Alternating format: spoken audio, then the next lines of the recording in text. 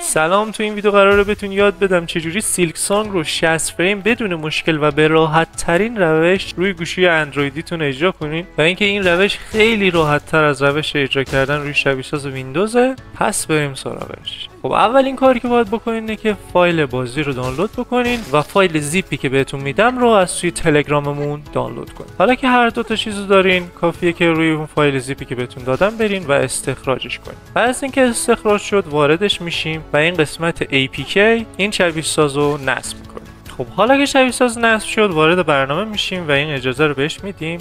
و اینجا Get Started رو می‌زنیم و اینجا ازمون کلید می‌خواد که میریم select ی و دقیقا توی اون پوشه که بهتون دادم میرین و اینجا کلید رو انتخاب می‌کنین. حالا ازمون firmware می‌خواد که باز هم توی اون پوشه که دادم بهتون هست اینجا میاین تو اون پوشه و اینجا قسمت firmware این رو انتخاب می‌کنیم و صبر می‌کنیم که نصب میشه حالا ازمون می‌خواد که پوشه که بازی توش هست و بهش نشون بدیم. میگم من بازیام رو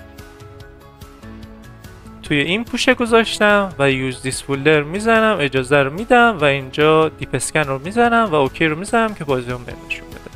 و تمام حالا می‌تونید سیلک سانگ رو روی گوشیتون بازی کنین. ولی خب اگر دلتون خواست مثل من همه این بازی های جذاب رو روی گوشیتون بازی کنین من ویدئوی آموزش کامل نینتندو سویچ روی موبایل رو حتما ببینید و اینکه تو اون آموزش گفتم چجوری آپدیت کنین DLC بریزین چجوری گوشیتون داغ نکنه چجوری بهتر بازی ها رو اجرا کنین و غیره. و اینکه ویدیوهای خفن بیشتری تو راهه و اگر این ویدیو رو دوست داشتین حتما حتما subscribe کنین چنل رو.